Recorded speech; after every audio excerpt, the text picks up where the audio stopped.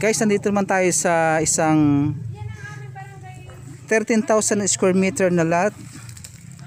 Meron na po siyang mga slot para sa piggery. Ayan, malinis na po yung area. So, 1.3 hectares. At ah, may ilog po dyan. May ilog dyan sa likod. Ay, kasi tayo mga ganito. Ah, kasama po yun doon. Oo, kasama sir. Ayan, meron na po siyang ano. Ah, meron na po siya mismong piggery. ah. Basta nasa zoning po nila pwede lagyan ng poultry na. Oo. Oh, yan kasi kasi po yung Bibigay, tsaka pa, palag ho. actually may bayar na po ako ng poultry. Sa yung, yung tinawag ko siya dati. Kapitan, yung kapitan dito ay kausap na. Ah, sa zoning kasi yun.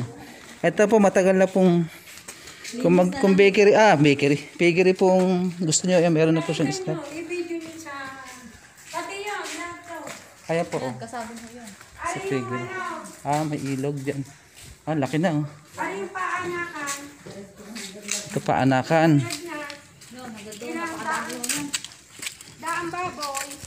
Ah, parang gusto ko mag-alaga ng baboy. ah. Ayun na nga bumili. Ang dami ng kahoy na po pwedeng palagari. Oh, mahuhugan yan. Dami. Pera yan. Ayan o. Ah, kas- kasama po yung mahuganin na yan sa property. Oo. Yun ang patuto eh. Ayun. Yan, Ito po, kasama to. Yan. Mga yan. Marami 13 hectares sa Ang likod. Ilog po yan sa likod. Ha? Hanggang sa likod nito. Okay na yan hanggang yan. Oo. Hanggang dito lang. Oo. Yan. Pati lagnas kasama yan. Kung may po pwede pang gawin.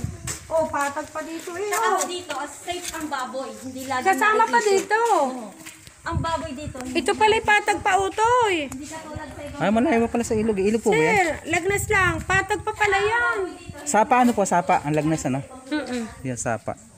Ito po sapa sa likod Pala ng patag pa. Pwede pang pwestuhan. sa likod ng sapa.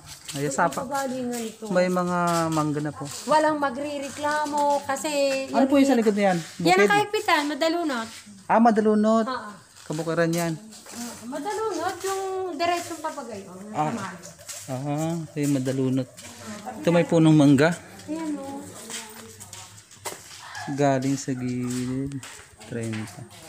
Mga 50 meters po yung ano. Ay, hindi na dadaling kung may magpapaalaga, may bahay na titira ng magiging katulong. Asan po? Ay, kasama po iyon. Oo. Tina, kung magpapaalaga, hindi dadaling sa bahay. Ayan na. po. Ito po kami sa isang property dito sa Barangay Puting Kahoy, Calaca, Batangas. Ito po yung yung mga naghahanap po ng piggery or poultry. Pwede pwede na po sakto, oh, piggery and poultry. Pag piggery po, may sakto na po yung mga ayun, mabahay na po ng ng baboy kasi may paanakan. Si dati na pong piggery ito. Nakakunik po sa sapa kaya wala pong problema sa sa dalo yung tubig. Ay, wala. Paano ba may reklamo? Or eh, tabi ng Tabi ng natin. Kung sa kwali, hindi naman sinulat. So yan guys, Ang ano mo niya? 13,000 square meter o 1.3 hectares. Sa presyo po, ko, ah, tanong lang po kayo sa akin. You may visit my our website www.bgarealtyhomes.com